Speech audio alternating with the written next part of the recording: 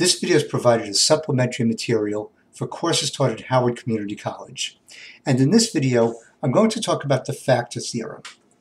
So the factor theorem says that the polynomial x minus k is a factor of the polynomial p of x if and only if p of k equals 0.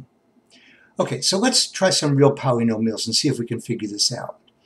Instead of x minus k, I'm going to say, let's say we have x minus 4. So k and 4 are going to be the same thing.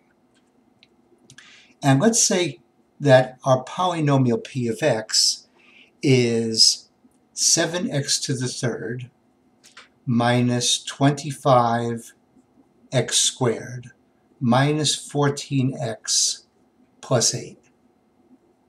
And I want to find out whether x minus 4 is a factor of this polynomial.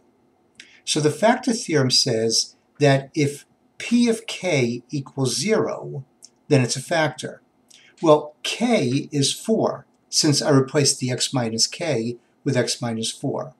So I want to find out what p of 4 is. Now, we can use the remainder theorem and find p of 4 fairly easily. The remainder theorem says that all I have to do would be to divide, using synthetic division, divide 4 into this polynomial.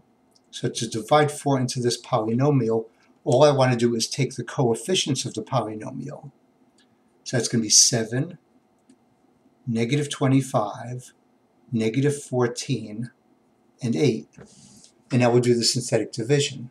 So I'll bring down the 7, multiply 4 times that 7, and that's 28 add negative 25 plus 28 is positive 3.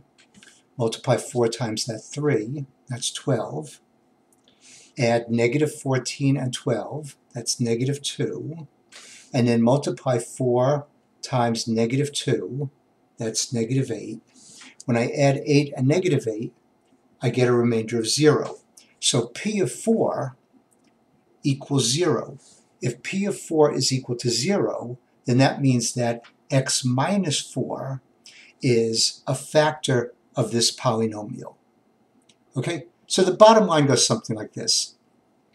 If you've got a polynomial and you want to find out whether some factor like x minus 4 or some polynomial like x minus 4 is a factor of that polynomial, then what you want to do is look for p of 4.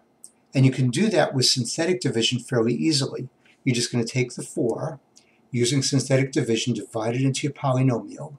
If the remainder you get is 0, then that original x minus 4 is in fact a factor of your polynomial. Okay? And that's it. Take care. I'll see you next time.